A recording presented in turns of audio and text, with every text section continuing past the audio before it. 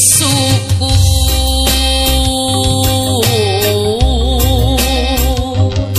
kayang aku. Kagustinu maha suci. Neda jemba